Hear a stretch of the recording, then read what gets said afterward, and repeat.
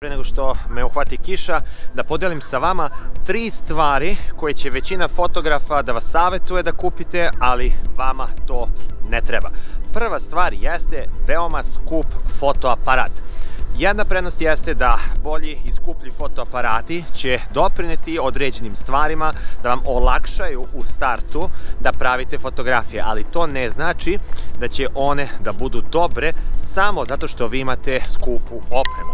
Vi možete da napravite mnogo dobre fotografije tako što naučite da koristite svetlo, i naučite određena pravila kompozicije i koja podešavanja vi da upotrebite.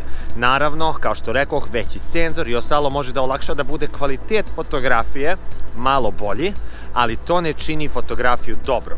Tako da to je prva stvar. Druga stvar jeste da vi odmah u startu treba da imate skupe objektive, kao što možete vidjeti pattern ovde, zato što iako skupi objektivi preko 1000 evra mogu da imaju otvor blende f1.2 i da pritom imate mnogo veći bokeh, vama u samom startu to nije toliko potrebno.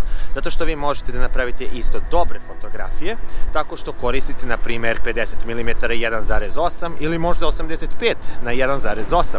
Ovo je dovoljno veliki otvor blende da napravi veliki bokeh i da dobijete taj malo lepši profesionalni look ako radite portrete. Naravno, skuplji objektivi bit će oštriji, ali kao što rekoh, to ne znači da će sama fotografija da bude bolja ako je fotografija oštrija. Jer, kao što rekao smo, vaša kompozicija, izbor boja, pod kojim svetlom pravite fotografije, čini vašu fotografiju da bude dobra, a ne skupa oprema. I onda nastupa glavno pitanje. Da li vi zapravo kupujete tu opremu da impresionirate druge fotografe koji će da vide da li je vaš bokeh veliki ili nije, koji su uglavnom i sujetni i onda će oni vas da kritikuju kako vi to možete bolje, kako treba bolje opreme da imate ili možda to kupujete za svoju ličnu dušu i treća stvar jeste da vama od samog starta je potrebno da imate mnogo skup blic ili ti neku veliku rasvetu. Jednom je druga rekao na početku moje fotokarijere kada sam fotografisao maturante, kaže zašto ti kada ih fotkaš na polju ne izbaciš one tvoje softboxeve i bliceve da oni to vide, znaš, vole oni da svećaju kao zvezde.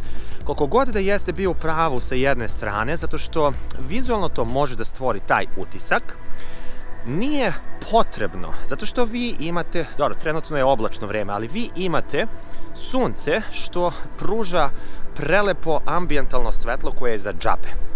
Naravno, neki će reći da mnogo više vole taj prirodniji look što se tiče ambijentalnog svetla, ali ne znači da ako imate blic u početku da će fotke time isto automatski da budu bolje.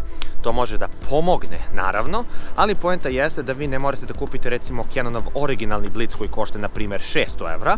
Možete da skoknete na primer na AliExpress ili na kupujem prodajem i da nađete recimo Yongnuov kopiju za možda nekih 100 evra i čak recimo ako uštedite da nema ETTL, onda možete da koristite neki manualni blic za možda čak i 50 evra. Sve što možete da kupite za te pare i da doprinese vašoj kreativnoj fotografiji je super, jer na kraju možemo da sumiramo sve ovo takmičenje nije za umetnike. Naravno, lajkujte ovaj video i subscribeujte se i napišite neki komentar dole ispod i ne zaboravite da bacite pogled na playlistu ovde sa strane i mi se vidimo u sledećoj epizodi. A do tada, stay sharp and stay focused. Paka paka.